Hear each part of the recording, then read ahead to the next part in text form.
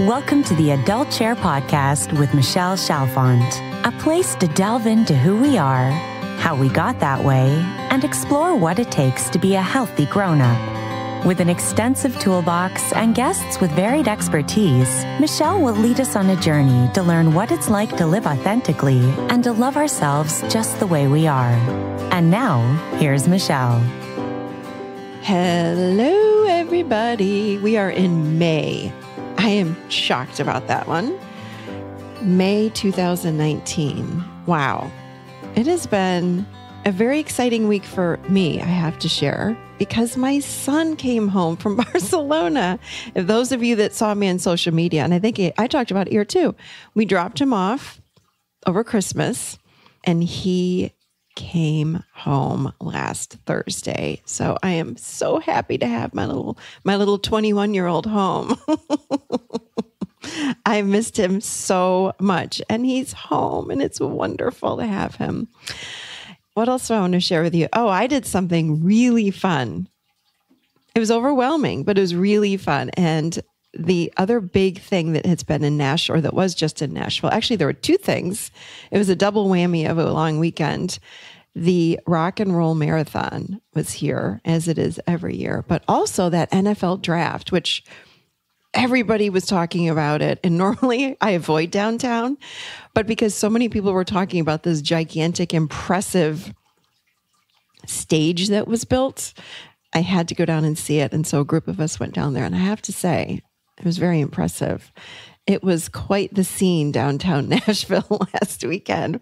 And I was there. I had to, of course, come home and detox because all the people and all that energy, it overwhelms me being the empath. So I had to come home and not detox from drinking or anything like that. It was just when I get around that many people, I had to come home and just sit outside for a bit and just uh, let, let my energy purge everyone else's energy because I tend to just you know, merge with everyone else. So a hundred thousand people were down there and I was right in the middle of it all. And it was really fun. My inner child had a lot of fun, I have to say. Anyway, this week, today, I'll be chatting with you about what do we work on next? Like, what do we heal next? I hear that question all the time. Like, okay, you know, I've learned the adult chair. I love the adult chair. Where do I go next? What do I do next? I don't know what to do. Can you help point me in the right direction? And people are overwhelmed with all the different things that they can do. So I'm going to be chatting with you about that today. I'm going to break it down for you and tell you exactly how we do this process of transformation and healing of the self. But first, I have to share with you again. I think you all know this, but we have the Adult Chair Weekend Intensive. It is in two days. I am thrilled to be there and having it in Nashville again. But of course, I know it's not the best weekend for everybody. It is graduation weekend. It's we've got weddings, and I know so many of you had said they're so sad that they cannot come. So we will do another adult chair weekend intensive probably in the fall or the winter, but we do have still, I think, like a couple spots for this weekend. So if you want to come, you can come join us. Check it out at theadultchair.com forward slash workshop. And what else do I want to share with you? I guess that's it. I'm going to jump right into our big thank you for today's sponsor. And this is a new company which I love. They are Myro, M Y R O. I think most of you probably know that I do prefer more natural products, and I have found a great one that I am thrilled to share with you guys. Myro is making deodorant better. They deliver obsession worthy, naturally effective deodorant that looks as good as it smells. They make their natural deodorant with a custom blend of essential oils that release over time to keep you fresh and barley powder to keep you dry. Their formula is hardworking, long lasting, with no toxic anything, which I love. 0% aluminum, 0% parabens. Their ingredients are clinically tested for safety and efficacy. So here's how it works first, you go online, you're going to choose your scent and the color of your case. And let me just tell you, it's overwhelming because they have so many cute cases to choose from and the colors and the scent. It's like adorable. And then what happens is you get a refresh after you pick everything and you order. You get a refresh every three months delivered straight to your door, conveniently timed for when most people run out. You can switch scents at any time. You can pause it at any time. You can stop it at any time. But I'm telling you, when you get this thing in the mail, you're not going to want to. I got the cutest package. I felt like it was my birthday. It reminded me of a gift that I would get on my birthday. It's adorable. I got Chill Wave and it had cucumber, jasmine, and spearmint. And next month, I think I'm going to go for the orange. I mean, let me just tell you, it smells so good with the essential oils and it works well. So many of the deodorants that I've tried that are all natural do not work well. This one works really well and smells amazing. So Myro is offering us 50% off your first order, which means you can get started today for just five bucks. So visit my Myro, that's M Y M Y R O dot com forward slash adult, and you can get 50% off your first order. Again, that's my Myro, M Y M Y R O dot com forward slash adult. All right, getting right into this now. Moving to what do we heal next? What do we work on next? Again, I get this question quite a bit. I see it on social media quite a bit where people are saying, okay, I'm very excited. I've loved the adult chair, but what do I do? Do I work on this? Do I work on that? Which podcast do I listen to? I get that question all the time. And I always say to people, listen to the first four and then you can jump around. But I know many of you, because you share with me that you've listened from number one all the way through until today, which is fabulous.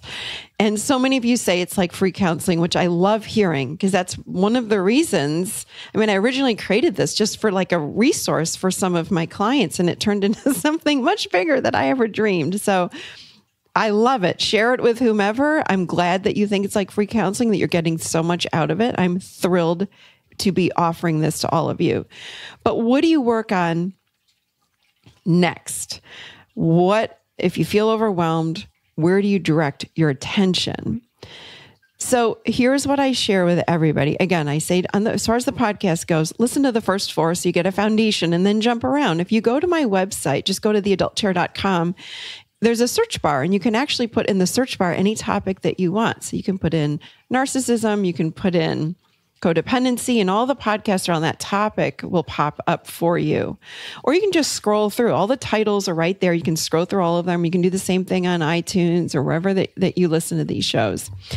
In my opinion, as far as what we work on next, well, you've probably heard me say this many times if you listen to this show. I really believe everything happens in divine time, meaning everything lines up and presents itself to us in the perfect time, on time. You are right on time on your life path. I think I just said that last week when I talked about being. It's like just keep showing up for life and it will present to you what you work on next.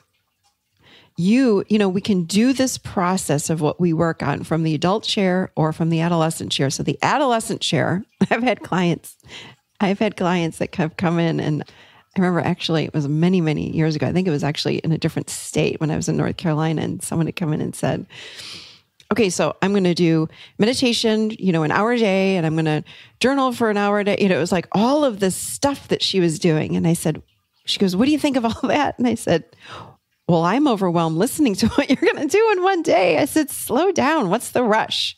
What's the rush? So there's a beautiful flow, and I did a whole podcast on living in the flow and you've probably heard me reference this too. When you're going down that beautiful life path of yours, that beautiful, think about yourself in a river in a beautiful little boat or a canoe, drop the paddles. You don't have to steer your life. Wait until whatever you need to work on presents itself to you. What feels right? What are you drawn to? Where do you feel led? It's like just because you know something happened in your past or something's going on in your life, even right now, does it mean you have to work on it right now? Only if it's up for you. I remember where I was standing. I remember opening up my my refrigerator probably about 10 years ago.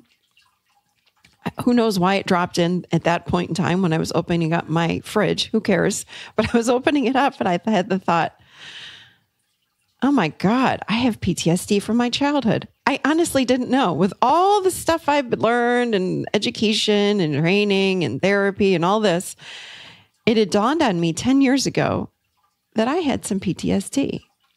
Now, I didn't drop what I was doing and go run out and work on my PTSD. I just had the awareness of it. So when we do it from our adult chair, we're noticing, wow, like I did, like, wow, there's something there. Huh. Okay. And then I reached in the fridge, grabbed what I wanted to get, and continued on with my day. I don't drop everything. I don't suddenly focus on it only if it presents itself. So in that moment, for whatever reason, everything aligned and I was very aware of it and it all dropped in. I was like, oh my gosh, that makes so much more sense. You know, think about life as a puzzle that, that you're building. And it was another piece of the puzzle that kind of clicked in. I thought, oh, that's something I'm going to have to look at you know, when it's time. We're doing it from our adolescent chair would be like that other person I was telling you about. he was like, I'm going to work on this and this and this, and it's overwhelming. And I'm, I don't know, you know, and we're losing ourselves in the process. Working on our stuff from the adult chair is when everything is right on time and it feels right and it's lining up. And, and so for me, with my PTSD, let's just use that for, I'll just use that for an example. It's like, oh, yeah, okay and then it didn't mean that when I went into therapy the next week, I was like, I need to work on this right now because it wasn't presenting itself. It was a really beautiful awareness. And I didn't go in that next week. And I don't think I went in until it started really surfacing for me. Think about like a volcano, and it doesn't not, not to be scary like a giant volcano that is erupting, but like a little baby, a little baby one with a little bit of lava that sort of comes up, and sometimes it's a giant one. But what I do is I wait for like that bubbling up to happen. I wait for the stirring inside of myself, like, oh, there's something there, something juicy. I want to go get it. I want to look at that now. That's living from the adult chair and working on our stuff from that perspective. I just took a very pretty intense trauma training a couple weeks ago and I was going through it and I really I didn't feel much of anything because I'm like I, have worked on that, worked on that, and there's like one little tiny piece of something. I thought, oh, you know what? I'm going to look at that. I'm really excited. I do want to look at that little piece. And again, I didn't think, well, I better work on it immediately. I was like, yeah, that's something I really do want to take a look at. And I did, and I worked on it, and life went on. But it's not like I, you have to tackle it in this very second. So I just had this question recently I think it was on Instagram, and someone had said there was some quote that that was posted that I posted, and I don't remember the quote. It was something about to heal your codependency, you've got to be willing to sit in your pain or something like that. And someone had said, you know, how do I do that? How do I sit in my pain? Well, again, it's about waiting for it to come up. Like I know that I have probably some pain within me, but it's not up for me right now. So I don't even have to, I don't go looking for it unless it's up for me. And this is what I had mentioned to this person. I said, just wait and it will present itself. So it's about going through life and noticing maybe when you're triggered, like, wow, that really triggered me. So I think I'm going to go ahead and point my attention toward that trigger because as we know, triggers, if we're triggered, as you know, it's our stuff. So we want to go inside and say, you know what? What is it about what just happened with that person that's bringing something up for me? Huh, let me take a look at that. That's when I look at something. Or if i'm really upset about something or i'm suddenly angered or you know any sort of anything that's pulling me out of emotional balance and peace is that's when i want to at least write it down. I might not even be able to work on it in that moment but i'm going to write it down and go ooh there's another juicy one. Again notice my words because i get excited to work on things. Because remember it's just our life path and it's a discovering more. I get excited because we're discovering more of who we are. This whole adult chair model is about self realization. So we get these parts revealed to us when we are triggered or when we have an uncomfortable emotion. That's when we get to go in and explore and journal. You know, we go in and explore and we get curious about, ooh, why am I out of balance? So I don't get upset. The old me would have said, Oh my God, what's wrong with me? I have another emotional wound coming up. I'm so dysfunctional. I don't even do that anymore. And I would invite you guys to join me in this new way of thinking. It's like, cool. I get to learn a little bit more about Michelle. You know, I want to learn more about myself and me being out of balance a little bit or or being upset or being sad or being anxious or being whatever I am. I have that in that in those moments I have the opportunity to turn toward myself and step more into myself and get to know more of me.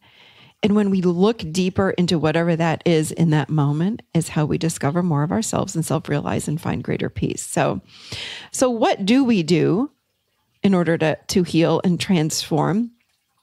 Journal. Again, if, if we want to bring, you know, and I said this to this person, I said, if you really do want to bring something up and something sort of festering inside, I recommend journaling journaling is a great one because you're it's sort of like you're you're tapping into that you're dropping more into that sub, subconscious mind when you're journaling if you let that pen just write don't have an idea about what to write so if you do realize like you know something's going on in my marriage or in my relationship or with my work or with my childhood whatever it might be sit down with a pen and paper and make it like a really a really quiet space and start writing and just see what comes. Let your hand go. Don't have an idea about what you're writing, just let your hand write. You'll be very surprised at what comes out when we do that. We sort of enter into that other state of mind, and that's when we're tapping into maybe the unconscious mind and it just starts pu- pulling up through our pen. Another thing we can do is sometimes I'll feel something bubbling up like a little bit inside of me, and I'm not sure what it is. That's when we need someone to mirror us and we want to feel seen and heard. So I'll call one of my people and I'll say, listen, I'm, I remember when we talked about, or I've talked about this in the past about setting it up. So when I feel like I really am, I'm onto something, it's like I can feel it stirring and festering inside of me just a little bit. And I really want to pull that up through me. I'll call someone and say, and here's the setup. I'll say, hey, do you have a few minutes to just listen to me? Because I need to share this with someone. And I need you to just listen just for a few minutes. Probably, you know, let them know, like probably no more than 15 minutes or so, maybe 10. But here's the thing I need you not to interrupt me because I can feel something wanting to come out and come up and reveal itself. So, what I need more than anything from you is just to listen. So, I want to let you know ahead of time I might cry, I might be upset, I might be angry. Please don't talk me down off of that. I need that to come out and through me so I can see and feel and know what this is deep inside of me. So, all that I need you to do is just witness me. And I'd be so grateful if you could do that for me. Is that something that you can do for me? So, that's the setup. We want to set it up with another person because, of course, oftentimes when we're crying or we're angry, you know, that other person will say, Well, hold on a second. You don't have to be that angry. Why are you getting so angry? No, no, no, no. We don't want that. So we want to explain to them ahead of time please just witness, just listen. I just need someone to mirror me. That will help me so much get to get to the root of what is going on. So that's really beneficial just to be mirrored. Another thing we can do, and I want you to again remember this is a personal journey. So, what's working for your best friend may not be working for you or may not work for you. It might, but it might not.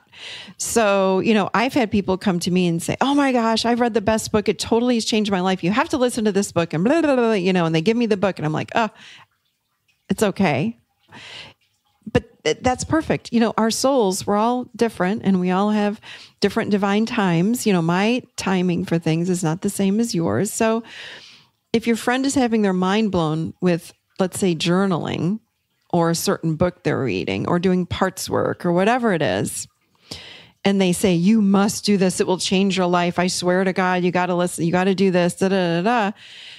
I always ask people this question, you know, do you feel drawn to that? Do you feel pulled to do that? If you don't, then don't do it. it's not time for you. It's not to say that maybe in a day or a week or a year, you might be drawn to the same exact thing, but go ahead and try it out. If you feel, if they're having their mind blown by journaling, then do some journaling. If you hate every minute of it, then it's not for you. And it doesn't mean that it's bad or it's wrong or something wrong with you. No, It means your soul is like, I don't want you to journal. I just wanted you to go do yoga, or I wanted you to go take that painting class. So honor yourself. Go within and honor you because only you know what's best for you.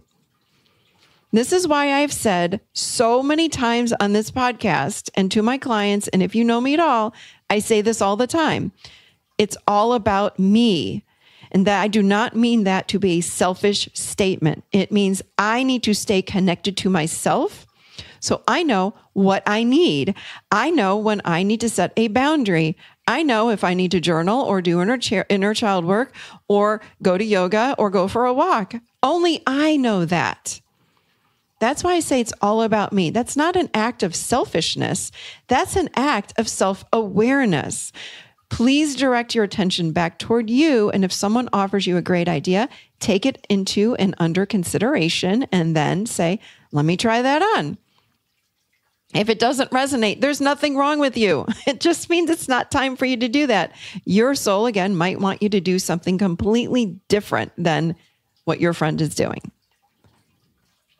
Now, some people have said to me, Well, I don't feel like doing anything. I'm really scared. Am I blocking? I think I'm blocking. What do you think, Michelle? Do you think I'm blocking? Because I think I should be drawn to something. Da da da da. So, if that's true, because perhaps our sweet little adolescent, perhaps we're being blocked because the ego is scared to go within and work on something. Perhaps that's what's going on. So if you feel like that could be you, then go ahead and do a little journaling. Try it out, but make it special. Like, don't go into it like, okay, I freaking hate journaling. Let me just sit down here at the dining room table and journal. Like, let's get the inner child really happy. Like, make it really fun and special. Like, light a few candles or incense, or go sit outside in a field, or do something special and relax. Take a deep breath get in the moment, and then journal and see how it goes. If you're pushing yourself to do something you don't want to do, it's not going to be a pleasant experience. I guarantee it. Or if you want to go do some inner child work, go right ahead, but make it fun. Like, okay, I'm going to sit. No one's home right now. I'm going to close my eyes. I'm going to see if I can imagine my inner child, or I'm going to get a doll and I'm going to work with that little part of me, whatever it is, but make it kind of fun for yourself listen to a guided meditation. Like there's so many things that you can try and do it for a few days and see if there's a block there. Notice you might feel blocked. You might push through that block and then you might realize, oh yeah, it's not journaling I want to do. Again, I kind of feel like doing yoga because so if you go toward one thing, it might lead you in, into another direction. Or I feel like doing pottery, or I feel like going to the gym, whatever it is, honor that and move forward with whatever that desire is within you. And I want to say this again wherever you are in life and whatever you're doing, you are right on time. Do not rush your life. The issues that you that your soul wants you to work on will be revealed when it's time to work on them. and if you ignore or miss the opportunity, or shove it down. It's okay. Please be easy on yourself. I'm not saying to avoid your whole entire life. That's not what I'm saying, but just be easy on yourself. Trust me, please. It will be revealed again. Your soul wants you to work through this. Your soul, the soul wants us to live and have many, many experiences, but it's all about the self realization so we can live with greater peace. So trust me, this issue that you might have missed or you didn't want to work on in that moment, it'll be back. I promise. And it's layered. Even though you think you worked on your shame once and it was a whopper, trust me, we have layers like an onion. It'll come back in a different form, but maybe a little bit less. So, again, if you feel caught up with five things all at once. Like maybe you're married to someone that drinks too much and your mother was a narcissist and you're realizing you you feel like you're a bad parent and you got all this stuff just thrown in your face right now and you're totally overwhelmed and anxious. Same thing. I would say the same thing if this is you. It's okay. Let's bring the emotions down so we can find one thing to work on. Perhaps you start journaling. Maybe you're drawn to a meeting. call a friend, meditate. What we want to do is get ourselves a little bit more in balance so then we can find our truth with what we want to work on next. Maybe do some EFT, some tapping to bring your emotional state down. Do some deep breathing. Maybe you just go for a walk. You cannot get your life path wrong. I just want to say that. You can't get it wrong. So stop thinking you've gotten your whole life wrong. It's not wrong. You're right on time, I promise you. So I hope these tips have been helpful for you. Just go with what feels right for you in the moment. Do one thing at a time. That's living from the adult. That's living in the flow state. That's not charging toward everything, you know, a million miles an hour from the adolescent chair, trying to knock everything out like a whack a mole. like, let me get that. Let me get that. Let me get that issue. Remember that game when the little mole comes up and you whack it with a hammer? That's not your life path, people. It's about a series of experiences as we go down this life path. And even if you're married to a narcissist, it doesn't mean you've got to hurry up and work on your stuff and get out the door tomorrow. It's like, okay, you had a discovery about yourself. Now, what's the next step? What's the one next thing for you to do? Doesn't mean you have to leave. And we, the ego wants to want you to rush it and fix it immediately. There's no fix. It's just an experience, and you will get through it with greater power. Learning how to set boundaries with your voice. If you do it in the way that you're not, again, doing it like a whack a mole, but you're doing it with what feels right in this moment. I feel like I want to journal, then journal. This is why I created that membership site. We work on one thing a month and we go into it. And that helps people like really get into the heart of whatever that topic is. So that would be another option for you guys. Come join us there because then you're working on one thing a month. So this month of May, we're working on self love. I get in there, I will help you guys there's a monthly live Q&A. I answer all your questions. I, I get in there, I answer. It's a very small community of people. There's a monthly talk, there's a monthly guided meditation, there are four journaling prompts just on that specific topic. There's affirmations. So you pick and choose whatever you want to do. But I would I even say to those people, go with what feels right. You don't have to do every single thing every single month. And you have access to every month until you're not in this group anymore, which is who knows when that's going to be. So you don't have to rush through anything. You go with what feels right. So, anyway, if you want to jump on, j- join us in the membership site, come join us there at theadultchair.com forward slash membership. And that's about all I have for you guys for today. But just know again, you didn't get anything wrong for sure. You are right on time with your path. I promise you, there's something very beautiful inside of you. Your soul is guiding you every step of the way. Slow down, pay attention, and just make sure you are listening. All right, everybody. I wish you another beautiful, beautiful week in your adult chair. Don't forget to come join us if you have the time this weekend in the Adult Chair Weekend Intensive come to theadultchair.com forward slash workshop. And I will see you seated firmly right here in the adult chair. Have a beautiful, beautiful week, everybody.